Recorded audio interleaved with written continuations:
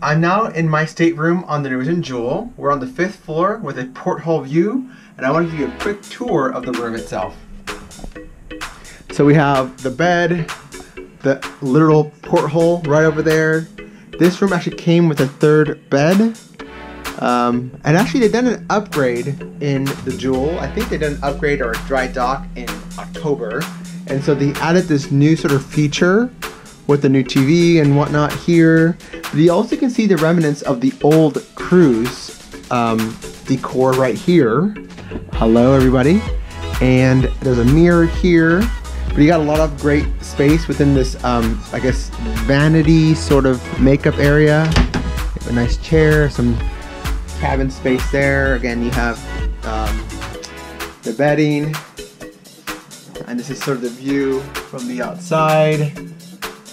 And then I'll show you the closet space that is also um, within the room. So we have a safe, some shelving space. Then you have space to store your luggage. Also, water is included in your room, but it's not free. Every bottle is about $5.50 per bottle, and they give you an entire case so you can use it all. My advice is to not use the water. Maybe you can fill up, bring a bottle of water and fill up your water as you go throughout the trip. And then there's also a refrigerator here. Um, so you have like small drinks, again, not included. So let's see, a small Dewar's. let's see the price of that there. So small Dewar's like that, that will cost you, um, actually the pricing is not too bad. It looks like between seven and $10 a small shot. Again, if you really are thirsty, I would still recommend you go to the bar and get a real drink.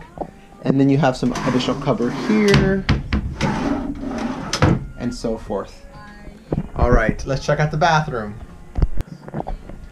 So the bathroom was not upgraded. I believe this is still the same um, design from the original boat from the Jewel. So you have a shower here um, with the space to hang your wet clothes, a sink, um, and a toilet, which again, these come with some, you, know, you can close these doors to have some privacy within your small but functional bathroom. And there you go.